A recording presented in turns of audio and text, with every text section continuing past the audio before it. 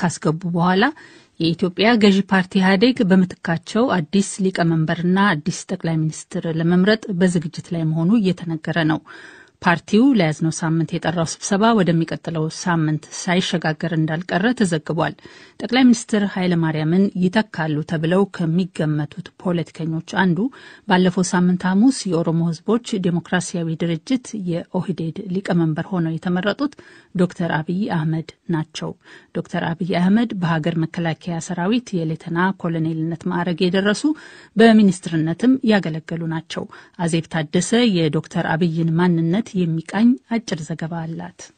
መጠፋፋት ለማንም ጤነኛ ሰው ምርጫ ሊሆን ያለን ምርጫ መደመር ብቻ ያለን ምርጫ አንድ መሆን ብቻ መተጋገዝ፣ መደጋገፍ ብቻ ሳይሆን በጋራ ለመኖር መደመር ነው። ዶክተር አብይ አህመድ የኦሮሞ ህዝቦች ዲሞክራሲያዊ ድርጅት የኦህዴድ ፕሬዝዳንት ሆነው እንደተመረጡ የተዜመላቸው ሙዚቃ ነበረ። በ1968 ዓ ም ጅማ ዞን አጋሮ ወረዳ የተወለዱት ዶክተር አብይ የአንደኛና የሁለተኛ ደረጃ ትምህርታቸውን በአጋሮና ጅማ ከተሞች ተከታትለዋል። በመቀጠል በተለያዩ በአገር ውስጥና በውጭ ሀገራት ዩኒቨርሲቲዎች እስከ PhD ማለት ዶክትሬት የሚያደርስ ትምህርታቸውን አጥንተዋል። ዶክተር አብይ አህመድ በተካኑት የንግግር ስጦታቸውና የአድማጭን ቀልብ ከመሳብና ቅቡልነት አቅም ሌላ በቂ የፖለቲካ ብቃት እንዳላቸው በደቡብ ኢትዮጵያ ኮንሶ ከተማ በጥርስ ሕክምና የሚያገለግሉት ዶክተር መንግስቱ አሰፋ ይናገራሉ። ዶክተር አብይ በብዙ ነገሮች ስናስባቸው ብቁ ናቸው ብዬ ነው የማስበው። የእኔ ትልቁ ስጋቴ የእሳቸውን በተመለከተ የእሳቸው ፖለቲካ ብቃት system ኡ ጋር ስለነበራቸው ህዝብ ዘንድ የሚኖራቸው በቅርቡ ከጀመሩት populist movement ውጪ ግን ያን ያህል እንደ liability ሊታይባቸው ይችላል የሚል ስጋት አለኝ እንጂ የእሳቸውን ፖለቲካ ብቃት አልጠራጠርም። መምህርና የድረገጽ ጸሐፊው አቶ ስዩም ተሾመ በበኩላቸው ዶክተር አብይ በዓለም አቀፍ ደረጃም ተጽዕኖ መፍጠር የሚያስችል ችሎታ እንዳላቸው ይናገራሉ። እኚህ ሰው አንደኛ በሌሎች የስራ መስኮች የተሰማሩ ነበሩ። ወደ አመራርነት የመጡት በቅርብ ነው። ሆኖም ግን በተቃዋሚ ፖለቲካ ፓርቲ አባላት ረገድ ራሱ የሚያስገርም ሀሳብና ሴት የመስጠት ድፍረትም ያላቸው ሰፊ የሆነ ስር ነቀል ለውጥ ሊያመጣ የሚችል አይነት የአመራር ክህሎትና ካሪዝማ ቅቡልነት ያላቸው ሰው እንደሆኑ በቀላሉ መረዳት ይቻላል። እንዲሁም ደግሞ በዓለም አቀፍ ግንኙነት ላይ የተሻለ ተጽዕኖ መፍጠር የሚችሉ የላቀ ግንዛቤ እንዳላቸው ታየኛለ። ዶክተር አብይ አህመድ ከ1982 ከኦህዴድ ምስረታ ጀምሮ የድርጅቱ አባል ናቸው። ከ2002 ዓ ም ጀምሮ የኦህዴድ ማዕከላዊ ኮሚቴ አባል፣ ከ2007 ዓ ም ጀምሮ የኦህዴድ ስራ አስፈጻሚ ኮሚቴ አባል በመሆን እያገለገሉ ናቸው። ከዚህ ሌላ ዶክተር አብይ በሀገር መከላከያ ሰራዊት የሌተና ኮሎኔል ማዕረግንም ተቀብለዋል። የመንግስታቱ ድርጅት የሰላም አስከባሪ አባል ሆነው ሩዋንዳ ኪጋሊ ላይ የተባበሩት መንግስታት ድርጅት ተልእኮን አገልግለዋል። ዶክተር አብይ ጠቅላይ ሚኒስትር ሆነው ቢሾሙ በኢትዮጵያ የሚታየውን የፖለቲካ ቀውስ ለመፍታትና ማህበረሰቡን ለማረጋጋት ምን ያህል ሚና ይጫወቱ ይሆን? ዶክተር መንግስቱ አሰፋ ጥርጣሬ አላቸው። ኢህአዴግ በአጠቃላይ ዶክተር አብይን ብቻም ሳይሆን በዚህ ሰዓት ሀገሪቱ ብቻ አይደለችም፣ በችግሩ የፓርቲም ችግር ነው። ይሄንን በትልቅ ጥንቃቄ ብናየው ጥሩ ይመስለኛል። እኔ ኢህአዴግ ራሱን የማዳን ስራም እየሰራ ነው። በዚህ ሰዓትም ደግሞ የሀገርን የህዝብ ጥያቄ እየመለሰ ያለበት ሁኔታ ነው ያለው። የእሳቸውን ስናይ ብዙም ለውጥ ያመጣሉ ብዬ አላስብም። ምክንያቱም ለውጥ አይደለም የሚያስፈልገን የስርዓት ለውጥ ነው፣ የአካሄድ ለውጥ ነው፣ የፖለቲካ ምህዳሩን ማስፋት ነው። ለምሳሌ ጠቅላይ ሚኒስቴር ሆነው ቢሾሙ አሁን መንግስት ያወጀውን ህዝቦችን ለማፈን ያወጀውን አስቸኳይ ጊዜ አዋጅ ይመልሱታል ወይ? ብዙ ጥቃት እያደረሰ ያለውን የመከላከያ ሰራዊቱን ተጠያቂ ያደርጓቸዋል ወይ? security apparatus ኡን ከመንግስት ወይ ደግሞ ከፓርቲ ወገንተኝነት ይልቅ የህዝብን ደህንነት እንዲጠብቁ ያደርጉታል ቢል ብለሽ ስጠይቅኝ እኔ ትንሽ ጥርጣሬ አለብኝ። ዶክተር አብይ በጅማ የህዝብ ተወካዮች ምክር ቤት አባል ሆነው የብሔራዊ መረጃ መረብ ኢንሳ መስራችና ዋና ዳይሬክተር የሳይንስና ቴክኖሎጂ መረጃ ማዕከል ዳይሬክተር በመለጠቅ የሳይንስና ቴክኖሎጂ ሚኒስቴር እንዲሁም ከ2008 ዓ ም ጀምሮ የኦሮሚያ ከተሞችና ከተማ ልማት ቢሮ ኃላፊ ሆነውም አገልግለዋል።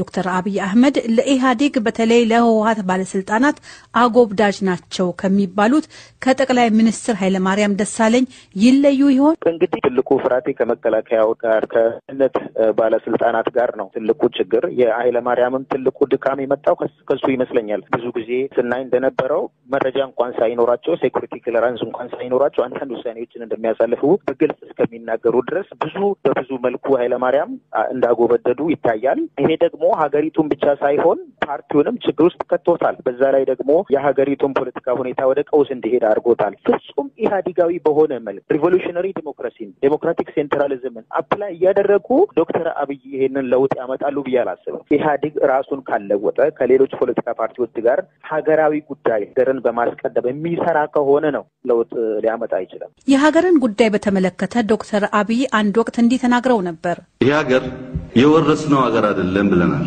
ከአባት ከእናት የወረስነው ሳይሆን ከልጆቻችን የተዋስነው ሀገር ነው። ውርስ መሸጥ መለወጥ ይቻላል። ትውስት ግን አጥቦ አጽድቶ የሚመለስ ነገር ነው። አሳምረን ማሸጋገር አለብን። ለኢትዮጵያ ፖለቲካ ቅርበት ያላቸው የሀገሪቱ መከላከያና የደህንነት መዋቅር በህወሓት የበላይነት ስር መሆኑን ይናገራሉ። ዶክተር አብይ ወደ ጠቅላይ ሚኒስትርነቱ ስልጣን ቢመጡ የኢህአዴግ የስራ አስፈጻሚ ኮሚቴ በተለያዩ ጉዳዮች ላይ ማሻሻያ እንደሚያደርግ የገባውን ቃል ተግባራዊ ያደርጋሉ ተብሎ ይታመን ይሆን? መምህር ስዩም ስር ነቀል ለውጥ ለማምጣት የሚያደርጉት እንቅስቃሴ ምናልባት ኢህአዴግንም በይፋ ሊያፈርሰው ይችላል። ከህወሓት በኩል ለውጡን የመቀበል ፍላጎትና ቁርጠኝነት ከሌለ መጨረሻው አጠቃላይ መንግስታዊ ስርዓቱን ወደ ማፍረስ ሁሉ ሊወስደው ይችላል። ወጣቶች ብናደምጣቸው ሀሳብ እንዳላቸው ብናደምጣቸው አገር ገንቢ መሆናቸውን ሲነገራቸውም የሚሰሙ መሆናቸውን ለማየት ችለናል። እንግዲህ ኢትዮጵያ ውስጥ አብዛኛው ህዝብ ወጣት ነው። ኦሮሚያን እንደ ምሳሌ ወሰን እንደሆነ ከ47% በላይ ኦሮሞ ከ15 ዓመት በታች ነው። ይህንን እያደገ ያለ emerging ኃይል የዘነጋ ኢኮኖሚ የዘነጋ ፖለቲካ መሻገር አይችልም። ትኩረታችን መሆን ያለበት ይሄ እየበቀለ ያለውን ኃይል ተረድተን የእኛንም ፍላጎት በወጉ አስረድተን ኃይል ሆኖ ጉልበት ሆኖ የዚህን ሀገር ሰላም የዚህን ሀገር ልማት አንድነት መጠበቅ የሚችል ትውልድ ማድረግ ነው። አንደኛ ሀገሩ የሱ ነው። እኛ ካልገራ ነው መስመር ይስታል። ያ እንዳይሆን ደግሞ የፖለቲካ አመራሮች፣ ምሁራን ሰፊ ስራ ይጠበቅባቸዋል። አንዱ መታወቅ ያለበት ጉዳይ ጭንቅላት ክፍት መቀመጥ አይችልም። ወይም ጥሩ ነገር ትመገበዋለህ ወይም መጥፎ ነገር ትመገበዋለህ። የተመገበውን ነው የሚወስደው። በተደጋጋሚ የሚመገበው መጥፎ ነገር እንዳይሆን መልካም ነገር እንዲሆን ደግሞ ጉዳዩ የሚመለከተው ሁሉ ተባብሮ ይሰራ ይገባዋል ማለት ነው። ተባብረን ከሰራን ተባብረን ጭንቅላታቸው ውስጥ መልካም ካስቀመጥን ነገ የሚያጋጥመንም ያው ውጤት እንደሆነ ምንም ጥርጥር የለውም። ከዚህ አንጻር በጣም መልካም ጅምሮች አሉ። እነዚህም በማጠናከር መጻኢ ጉዟችን ብሩህ ይሆናል የሚል እምነት ነው በእኛ በኩል ያለው። እንግዲህ አንድ ሊሰመርበት የሚገባው ጉዳይ ከአማራ ክልል ቀጥሎ ሰፊ አማራ ያለው ኦሮሚያ ክልል ውስጥ ነው። ከኦሮሚያ ክልል ቀጥሎ ሰፊ ኦሮሞ ያለው አማራ ክልል ውስጥ ነው። በዞን ደረጃ ተደራጀ አለ። ከዛም በላይ ቅድም እንዳነሳሁት ጎንደር ውስጥ ጎራዳ አለ። ጎጃም ውስጥ በጣም በርካታ ኦሮሞ አለ። ወሎ ውስጥ በጣም በርካታ ኦሮሞ አለ። ሸዋም እንደዚሁ የተቀላቀለ ነው። ብዙ ኦሮሞ ያለውም እዚሁ ክልል ነው። ብዙ አማራም እዛ አለ። ይሄ ነባራዊ ሀቅ ነው። እዚህ ሀቅ ላይ ተንተርሰን ከአጭር ጊዜ አንጻርና ከረጅም ጊዜ አንጻር ማየት ያለብን ነገር አለ። አንደኛ የአማራ ክልል ህዝቦች፣ የኦሮሚያ ክልል ህዝቦች በተለይ ደግሞ አዲሱ ትውልድ ማሰብ ያለበት ነገር መልቲሊንጓል መሆን ሁሉንም ቋንቋ መናገር መቻል ጸጋ ነው ብሎ መቀበል አለበት። በአማራ ክልል የኦሮምኛ ትምህርት መጀመር አለበት። በኦሮሚያ ክልል የአማርኛ ትምህርት መጀመር አለበት። ቋንቋ ብቻውን ይፈስ አይደለም።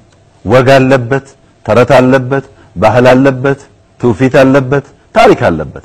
እዛ ውስጥ አንዱ የአንዱን እያወቀ እየተማረ ሲሄድ ይበልጥ ይወራረሳል። አማራ ክልል ኦሮምኛ ለማስተማር የተለዩ መሆናቸውን ለማወቅ ከፈለግን ለጉዲፈቻ በእንግሊዝኛ የተሰጠው ስያሜ ሙሉ አይደለም። በግዳ ስርዓት ውስጥ ያለው ዲሞክራሲያዊነት በአግባቡ አውቀን ልንጠቀምበት ከቻለን እኮ ሌላ አያስፈልገንም። ዲሞክራሲያዊነት ማለት ስለ ኦሮሞነት ለመናገር መፍራት ማለት አይደለም። በኦሮሞነት ኮርቶ ሌላውንም ሰው ደግሞ አክብሮ ወዶና አስፈላጊ በሆነ ቦታ ረድቶ ለመኖር ዝግጁ መሆን ማለት ነው። ጊዜ ላይ አንድ መሆን አስቸጋሪ ነው ጉዳይ ነው የሚሆነው። ከረጅም ጊዜ አንጻር ሁለቱ ክልሎች እየመከሩበት ያለ ጉዳይ ቢሆንም ሊሰራበት የሚገባው አንዱ ነገር እዚያም አማርኛ እዚህም ኦሮምኛ ማስተማርና ሰው ሁለቱንም ቋንቋ እንዳሻው መገልገል የሚችል ማድረግ ነው። ይሄ ብዙ ነገር እንድንማማርና ከጥፋት እንድንታቀብ ያግዘናል። በሌላ መንገድ ከአጭር ጊዜ አንጻር ደግሞ አሁን የጀመርነው አይነት ኮንፈረንስ ይቀጥላል። በአማራ ክልልም በኦሮሚያ ክልልም ማስተዋወቅ፣ ማዋሃድ፣ ማግባባት እዚያ ውስጥ የብሔር መልክ እንዲይዝ የሚያስቡ ኃይሎች ቁጥራቸው እያነሰ ሰላም የሚሻው ህዝብ ደግሞ እየበረታ በሚሄድበት ሰዓት marginalize ይሆናል። ፍላጎቱ የለም ማለት አለ። መቼም ይኖራል ፍላጎቱ ግን ጉልበት ኖሮት ጥፋት እንዳያመጣ ይሆናል። ኦሮሚያ ውስጥ ያጋጠመው አካባቢ ያጋጠመው ግጭት በሁለት መልክ ቢታይ ጥሩ ነው። የሞቱት ኢትዮጵያውያን ናቸው። ኢትዮጵያውያን ናቸው ሲባል ኦሮሞም ሞቷል፣ አማራም ሞቷል። አማሮች ቤድሌ አካባቢ ሞተው ኦሮሞዎች ቤድሌ አካባቢ አማሮች እንደገደሉ የሚያስብ ሰው ካለ ተሳስቷል። እንደዛ አይደለም። በጋራ የሚኖሩ አማሮችና ኦሮሞዎች በማይገባ በማያስፈልግ ግጭት ተጣልተው ሁለቱም ወገን ሞቷል። ይሄ አሸናፊ የለውም። በመገዳደል ውስጥ አሸናፊ፣ በመጠፋፋት ውስጥ አሸናፊ እንደሌለ አንዱ ማሳያ ነው የሚሆነው። ነገም ቢደገም አማራም ይሙት ኦሮሞ ገዳይ አሸናፊ መሆን አይችልም። ገዳይ ሁሌም ተሸናፊ ነው። በሐሳብ ነው ማሸነፍ ያለብን እንጂ በደም አይደለም፣ በጉልበት አይደለም። ስለዚህ እንደዚህ አይነት ግጭቶች ጎጂ መሆናቸውን ህዝቡም ከልምዱ እየተማረ ፖለቲካ አመራሩን ኮንሽስሊ ይሄ ጉዳይ ሊያጋጥም እንደሚችል አስቦ እየሰራበት መፍትሄ እያገኘ ከረጅም ጊዜ አንጻር ደግሞ ህዝቡን እያዋሃድን ስንሄድ የሚፈታ ይሆናል። ግጭት አቨርት ማድረግ አይቻልም፣ ማስቀረት አይቻልም። ከሰው ባህሪ ከሰው ታሪክና ማንነት ጋር ያለ ነው። ግጭቱ ግን እንዴት ጥፋት ሳያስከትል ህይወት ሳይቀጥፍ ሊገታ ይችላል ነው ጉዳዩ መሆን ያለበት። ለዚህ ደግሞ የህግ የበላይነት ያስፈልጋል። የአንዱ ሲበደል ሄዶ የሚጮህበት ሄዶ የሚያመለክትበት አቤት የሚልበት እና የሚያደምጠውም ኃይል ያስፈልጋል። እሱን እያደረግን በምንሄድበት ሰዓት ጉዳዩ የተፈታ ይሄዳል። አልፎ አልፎ እንደዚህ አይነት ግጭት በአማራና በኦሮሞ ብቻ ሳይሆን በኦሮሞዎች በተለያየ ጎሳ በሃይማኖት ያጋጥማል። ግጭት ሁሌም ያጋጥማል። ህዝብ እየተማረ እየፈታው ይሄዳል። ማተኮር ያለብን አሁን ያለው ግጭት ለምን ተፈጠረ ብቻ ሳይሆን ዳግም እንዳይፈጠር ምን ብንሰራ ይሻላል ነው።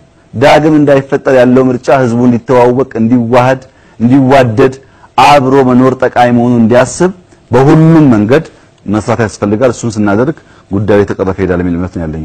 ግለሰቦች ብዙ ሀብት የመያዝ እና ብዙዎች ደግሞ የማደህየት ችግር የኢትዮጵያ ሳይሆን የዓለም ችግር ነው። ዓለም ላይ ያለ በሽታ ነው። በንጽጽር ኢትዮጵያ ውስጥ ያ እንዳያጋጥም ከፍተኛ ጥረት ይደረጋል። የሆነ ሆኖ የኢኮኖሚ crisis ቶሎ ወደ ሰው ወደ መጋደል ያመራል የሚል ድምዳሜ ግን ትክክል አይደለም። ኢኮኖሚ crisis ካለ provoke የሚያደርግ ኃይል ካለ እሱ ምላሽ የሚያገኘው ከጉዳዩ ጋር ትስስር የሌለው አርሶ አደር ደሃ ላብ አደር በመግደል ሊሆን አይችልም። ችግር ያለ እንደሆነ በንግግር በውይይት በ data ሊፈታ ይገባል። አሁን ባለው ሁኔታ ሁሉም ክልሎች ራሳቸውን ያስተዳድራሉ፣ ራሳቸውን ያለማሉ። primarily ማየት ያለባቸው እነሱ ያላቸውን ተጠቅመው ስራቸውን እየሰሩ ወይስ እየሰሩ አይደለም የሚለው ነው። ክልሎች ሚናቸውን መወጣት ሲያቅታቸው ተጨማሪ ድጋፍ ከፌዴራል መንግስትም ሊሆን ይችላል፣ ከሌሎች ዓለማትም ሊሆን ይችላል፣ ከህዝቡም አትላርጅ ሊሆን ይችላል መጠቀም የሚችሉበት እድል ሰፊ ነው። እንደዚህ አይነት ጉዳይ ስላጋጠመ ነው አሁን ግጭት እያጋጠመ ያለው የሚለው ጉዳይ ግን አሳማኝ መስሎ አይሰማኝም። ምክንያቱም የተጋጩት አርሶ አደሮች ናቸው። ሁለት አርሶ የሚያድር የሰበሰበው